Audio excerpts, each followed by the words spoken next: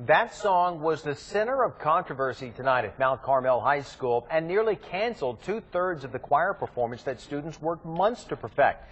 10 News reporter Dan Haggerty is live at the school where that performance just ended. And Dan, what convinced the principal to change his mind?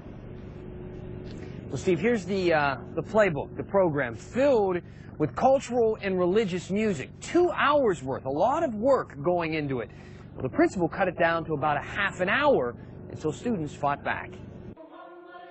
When the kids took the stage, they opened with the Islamic chant that nearly shut down the show.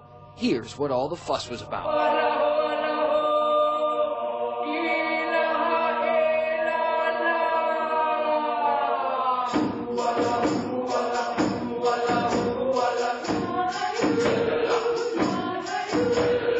Parent called and complained about that song, saying its religious words had no place in the school production.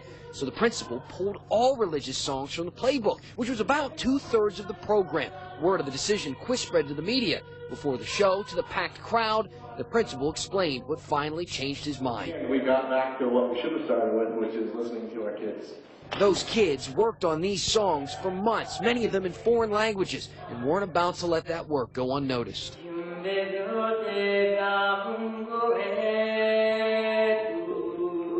They wrote a petition. They signed a petition. Many parents went in. Mr. Magno was, was very um, open. The show went the full two hours. Every song,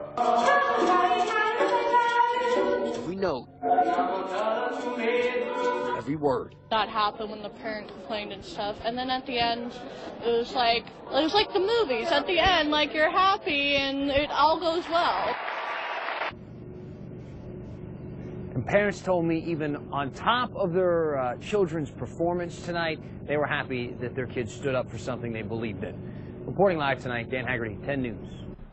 Uh